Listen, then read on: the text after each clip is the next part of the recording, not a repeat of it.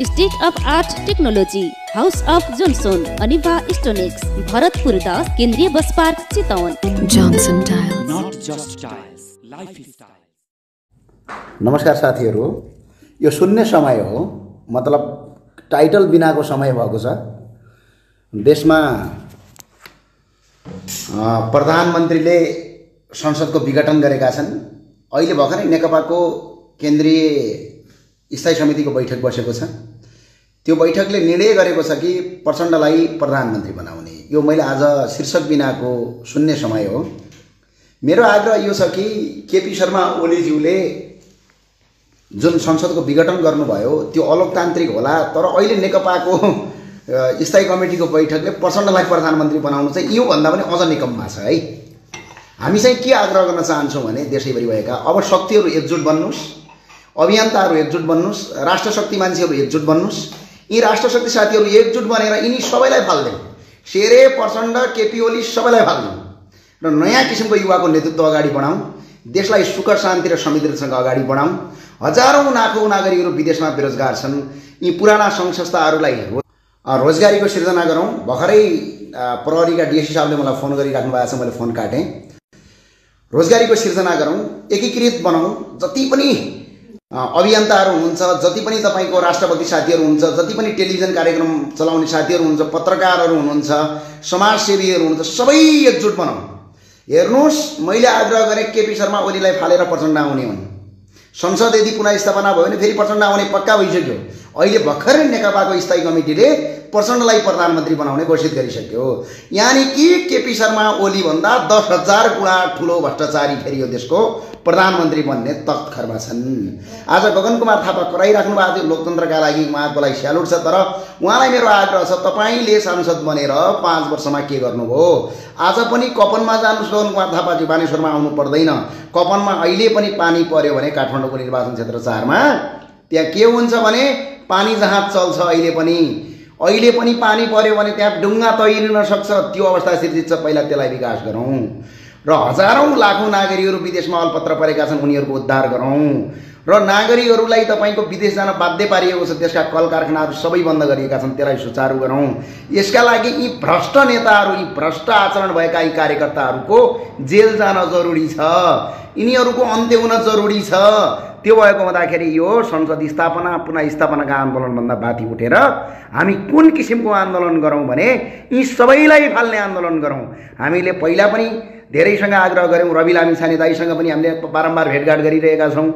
कुलमान घिसिङसँग पनि भेटघाट गरिरहेका छौँ महावीर पुनहरूसँग पनि भेटघाट गरिरहेका छौँ गोविन्द केसीसँग ज्यूसँग पनि भेटघाट गरिरहेका छौँ र रमेश खरेलज्यूसँग पनि दुई पछिल्लो पटक पनि मैले भेटघाट गरिरहेको छु।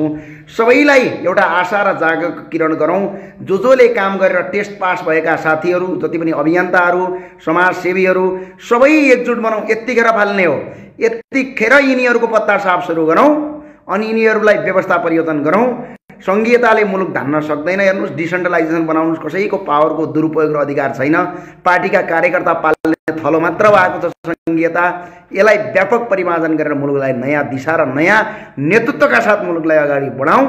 म यही भन्न चाहन्छु अहिले केपी शर्मा ओलीलाई फालेर प्रचण्ड प्रधानमन्त्री बन्ने प्रधानमन्त्रीलाई तपाईँको प्रचण्डलाई फालेर केपी ओली प्रधानमन्त्री बन्ने केपी ओलीलाई फालेर प्रचण्ड प्रधानमन्त्री बन्ने या शेरबहादुर प्रधानमन्त्री बन्ने या बाबुराम भट्टराई प्रधानमन्त्री बन्ने यो किसिमको परम्पराको अन्त्य हुन जरुरी छ। यदि यो किसिमको परम्पराको अन्त्य भएन भने हामी विदेशमा रहेका साथीहरू सबै विदेश हुनुहुन्छ। नेपाल फर्किनै पाइँदैन यो। हन्ड्रेड पर्सेन्ट ग्यारेन्टी हो। न त रोजगारीको सिर्जना हुन्छ न त भ्रष्टाचारको अन्त्य हुन्छ न त कानुनी राज्यको प्रत्याभूति हुन्छ न त नागरिकले न्याय पाउँछन्। केही पनि पाउँदैनन्।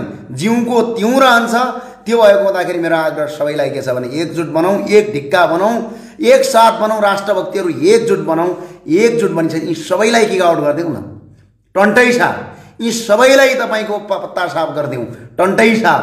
किनभने यिनीहरूले अत्याचार गरे अत्याचारको सिमाना नागे। यिनीहरूले भ्रष्टाचार गरे व्यतिथि गरे लुटतन्त्र गरे। हेर्नुहोस् न निशुल्क रूपमा शिक्षा र स्वास्थ्य पाइएको थियो नेपालमा। निशुल्क रूपमा पाइएको शिक्षा र स्वास्थ्यलाई पनि यिनीहरूले निजीकरण बनाए। व्यापारीकरण बनाए। जति बानेश्वरमा उफ्रेर भाषण गराउन सजिलो छ त्यति जनताका दैनिक जीवनमा आवश्यक परेका चिजहरूलाई हामीले एकजुट बनाउनु छ। हेर्नुहोस् मुलुकमा आज पनि नागरिकहरू स्वास्थ्य नपाएर तडपिरहेको छ। आज पनि शिक्षा नपाएर तडपिरहेको छ। शिक्षा यति महँगो भएको छ कि नागरिकले तिर्न नसक्ने अवस्था छ। स्वास्थ्य यति महँगो भएको छ कि नागरिकले स्वास्थ्यको बिल दिएर एउटा सामान्य मोटरसाइकलमा घाइते भइयो भने पछाडि लगेर उपचार गराउन सकिँदैन त्यो किसिमको अवस्था सिर्जना भइसक्यो। त्यही भएको हुँदाखेरि मेरो आग्रह के छ भने हामीले सङ्घीयतालाई कति खर्च गऱ्यौँ अहिले यो वर्ष? थाहा छ हजुरलाई? एक खर्ब बाह्र अर्ब रुपियाँ खर्च गऱ्यौँ। यो सङ्घीयता एक खर्ब बाह्र अर्बको सङ्घीयताले मुलुकमा डेढ किलोमिटर मात्र सडक पिच गर्यो छोटे महाराजा धिराजहरूलाई मात्रै पाल्यो। अझै यही सङ्घीयता पाल्छौँ मेरो अधिकार छ। भन्ने हिसाबले तपाईँ अगाडि परिचालित हुनुहुन्छ भने मलाई लाग्छ मुलुक जिरो दशमलव एक प्रतिशतमा विकास हुँदैन। अहिले असी बयासी लाख मान्छेहरू विदेशमा छन्। अब डेढ करोड मान्छे विदेश जानुपर्ने बाध्यता हुनेछ। अहिले केही भएको पनि केही सरकारी क्याम्पसहरू र केही कलेजहरू अहिले पनि पढाइ हुन्छन्। अब यहीँ पनि बन्द हुनेछन्। झनै नागरिकलाई अप्ठ्यारो पर्नेछ। न्याय खरिद बिक्री भइसक्यो। अझै न्याय खरिद बिक्रीमा जानेछ। त्यही भएर मेरो आग्रह छ। यो व्यवस्थाका यी टाउकेहरू सबैको अन्त्य गरौँ। यी टाउकेको अन्त्य गर्नलाई अभियन्ताहरू एकजुट बनाऊ राष्ट्रभक्तिहरू एकजुट बनाऊ यो मुलुकलाई चाहने पत्रकारदेखि बुद्धिजीवी शिक्षक हरेक व्यवसायीहरू एकजुट बनाऊ हामीले तिरेको करको पारदर्शिताको खोजी गरौँ। मुलुकमा भ्रष्टाचारको अन्त्य गरौँ। यिनीहरूलाई जेल हालौँ। र अहिले सडकमा सिर्फ सत्ता र शक्तिका लागि आन्दोलन भन्दा पनि नागरिकका दैनिक जीवनका मागहरूको बारेमा नागरिक आन्दोलन गरौँ अगाडि बढौँ एकजुट बनाऊ यिनीहरूलाई हिट गर्ने समय आएको छ यिनीहरूको हिट गरौँ र यिनीहरूको प्रकाश गरौँ र मुलुकलाई सही बाटो र सही निर्देशनमा अगाडि बढौँ। यति भन्दै म बिदा हुन्छु। हस् धन्यवाद। सबै नागरिक एकजुट बनाऊ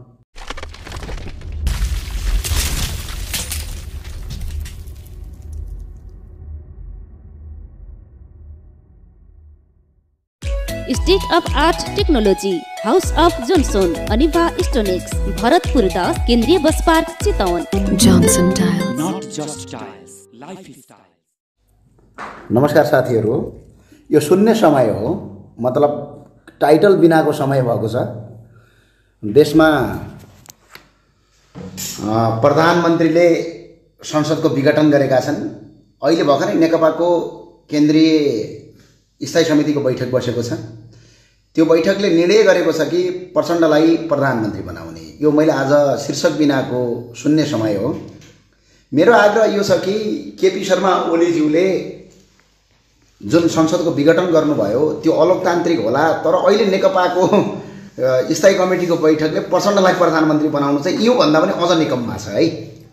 हामी चाहिँ के आग्रह गर्न चाहन्छौँ भने देशैभरि भएका अब शक्तिहरू एकजुट बन्नुहोस् अभियन्ताहरू एकजुट बन्नुहोस् राष्ट्रशक्ति मान्छेहरू एकजुट बन्नुहोस् यी राष्ट्रशक्ति साथीहरू एकजुट बनेर यिनी सबैलाई फाल्देऊ सेरे प्रचण्ड केपी ओली सबैलाई फाल्देऊ र नयाँ किसिमको युवाको नेतृत्व अगाडि बढाउँ देशलाई सुख शान्ति र समृद्धिसँग अगाडि बढाउँ हजारौँ लाखौँ नागरिकहरू विदेशमा बेरोजगार छन् यी पुराना सङ्घ संस्थाहरूलाई रोजगारीको सिर्जना गरौँ भर्खरै प्रहरीका डिएससी साहबले मलाई फोन गरिराख्नु भएको छ मैले फोन काटेँ रोजगारीको सिर्जना गरौँ एकीकृत बनाउँ जति पनि अभियन्ताहरू हुनुहुन्छ जति पनि तपाईँको राष्ट्रपति साथीहरू हुन्छ जति पनि टेलिभिजन कार्यक्रम चलाउने साथीहरू हुनुहुन्छ पत्रकारहरू हुनुहुन्छ समाजसेवीहरू हुनुहुन्छ सबै एकजुट बनाउँ हेर्नुहोस् मैले आग्रह गरेँ केपी शर्मा ओलीलाई फालेर प्रचण्ड आउने हुन्। संसद यदि पुनः स्थापना भयो भने फेरि प्रचण्ड आउने पक्का भइसक्यो। अहिले भर्खरै नेकपाको स्थायी कमिटीले प्रचण्डलाई प्रधानमन्त्री बनाउने घोषित गरिसक्यो। यानि कि केपी शर्मा ओली भन्दा दस हजार गुणा ठुलो भ्रष्टाचारी फेरि यो देशको प्रधानमन्त्री बन्ने तत्खरमा छन्। आज गगन कुमार थापा कराइराख्नु भएको थियो लोकतन्त्रका लागि उहाँको लागि स्यालुट छ। तर उहाँलाई मेरो आग्रह छ तपाईँले सांसद बनेर पाँच वर्षमा के गर्नुभयो? आज पनि कपनमा जानुहोस् गगन कुमार थापाजी बानेश्वरमा आउनु पर्दैन। कपनमा अहिले पनि पानी पर्यो भने काठमाडौँको निर्वाचन क्षेत्र चारमा त्यहाँ के हुन्छ भने पानी जहाज चल्छ अहिले पनि। अहिले पनि पानी पर्यो भने त्यहाँ डुङ्गा तैरिन सक्छ त्यो अवस्था सिर्जित छ पहिला त्यसलाई विकास गरौँ। र हजारौँ लाखौँ नागरिकहरू विदेशमा अलपत्र परेका छन् उनीहरूको उद्धार गरौँ। र नागरिकहरूलाई तपाईँको विदेश जान बाध्य पारिएको छ त्यसका कल कारखानाहरू सबै बन्द गरिएका छन् त्यसलाई सुचारू गरौँ। यसका लागि यी भ्रष्ट नेताहरू यी भ्रष्ट आचरण भएका यी कार्यकर्ताहरूको जेल जान जरुरी छ। यिनीहरूको अन्त्य हुन जरुरी छ। त्यो भएको हुँदाखेरि यो संसद स्थापना पुनः स्थापनाका आन्दोलनभन्दा बाथी उठेर हामी कुन किसिमको आन्दोलन गरौँ भने यी सबैलाई फाल्ने आन्दोलन गरौँ। हामीले पहिला पनि धेरैसँग आग्रह गऱ्यौँ रवि लामी छाने दाईसँग पनि हामीले बारम्बार भेटघाट गरिरहेका छौँ। कुलमान घिसिङसँग पनि भेटघाट गरिरहेका छौँ महावीर पुनहरूसँग पनि भेटघाट गरिरहेका छौँ गोविन्द केसीज्यूसँग पनि भेटघाट गरिरहेका छौँ र रमेश खरेलज्यूसँग पनि दुई पछिल्लो पटक पनि मैले भेटघाट गरिरहेको छु।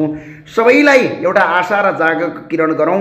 जो जसले काम गरेर टेस्ट पास भएका साथीहरू जति पनि अभियन्ताहरू समाजसेवीहरू सबै एकजुट बनाउँ यत्तिखेर फाल्ने हो। यतिखेर यिनीहरूको पत्ता साफ सुरु गरौँ अनि यिनीहरूलाई व्यवस्था परिवर्तन गरौँ। सङ्घीयताले मुलुक धान्न सक्दैन हेर्नुहोस् डिसेन्ट्रलाइजेसन बनाउनुहोस् कसैको पावरको दुरुपयोग र अधिकार छैन।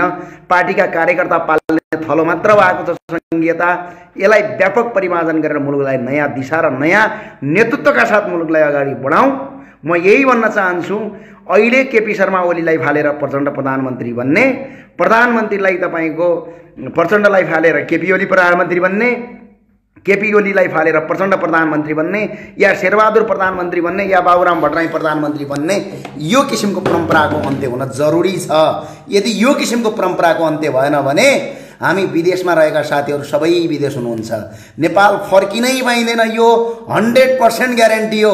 न त रोजगारीको सिर्जना हुन्छ न त भ्रष्टाचारको अन्त्य हुन्छ न त कानुनी राज्यको प्रत्याभूति हुन्छ न त नागरिकले न्याय पाउँछन्।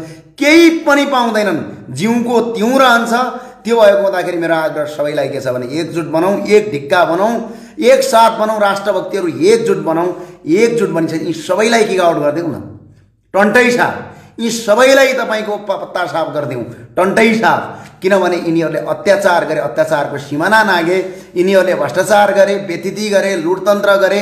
हेर्नुहोस् न नि शुल्क रूपमा शिक्षा र स्वास्थ्य पाइएको थियो नेपालमा। नि शुल्क रूपमा पाइएको शिक्षा र स्वास्थ्यलाई पनि यिनीहरूले निजीकरण बनाए व्यापारीकरण बनाए। जति बानेश्वरमा उफ्रेर भाषण गराउन सजिलो छ त्यति जनताका दैनिक जीवनमा आवश्यक परेका चिजहरूलाई हामीले एकजुट बनाउनु छ। हेर्नुहोस् मुलुकमा आज पनि नागरिकहरू स्वास्थ्य नपाएर तडपिरहेको छ। आज पनि शिक्षा नपाएर तडपिरहेको छ। शिक्षा यति महँगो भएको छ कि नागरिकले तिर्न नसक्ने अवस्था छ। स्वास्थ्य यति महँगो भएको छ कि नागरिकले स्वास्थ्यको बिल दिएर एउटा सामान्य मोटरसाइकलमा घाइते भइयो भने पछाडि लगेर उपचार गराउन सकिँदैन त्यो किसिमको अवस्था सिर्जना भइसक्यो। त्यही भएको हुँदाखेरि मेरो आग्रह के छ भने हामीले सङ्घीयतालाई कति खर्च गऱ्यौँ अहिले यो वर्ष? थाहा छ हजुरलाई? एक खर्ब बाह्र अर्ब रुपियाँ खर्च गऱ्यौँ। यो सङ्घीयता एक खर्ब बाह्र अर्बको सङ्घीयताले मुलुकमा डेढ किलोमिटर मात्र सडक पिच गर्यो छोटे महाराजा धिराजहरूलाई मात्रै पाल्यो। अझै यही सङ्घीयता पाल्छौँ मेरो अधिकार छ।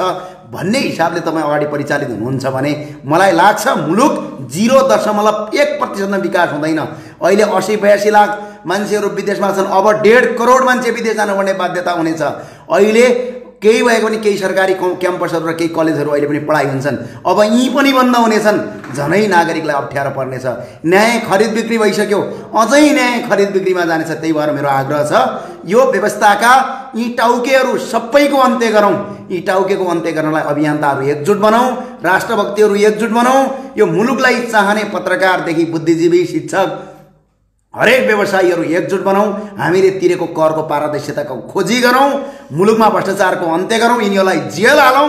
र अहिले सडकमा सिर्फ सत्ता र शक्तिका लागि आन्दोलनभन्दा पनि नागरिकका दैनिक जीवनका मागहरूको बारेमा नागरिक आन्दोलन गरौँ अगाडि बढौँ एकजुट बनाउँ यिनीहरूलाई हिट गर्ने समय आएको छ यिनीहरूको हिट गरौँ र यिनीहरूको प्रकाश गरौँ र मुलुकलाई सही बाटो र सही निर्देशनमा अगाडि बढौँ। यति भन्दै म बिदा हुन्छु। हस् धन्यवाद। सबै नागरिक एकजुट बनाउँ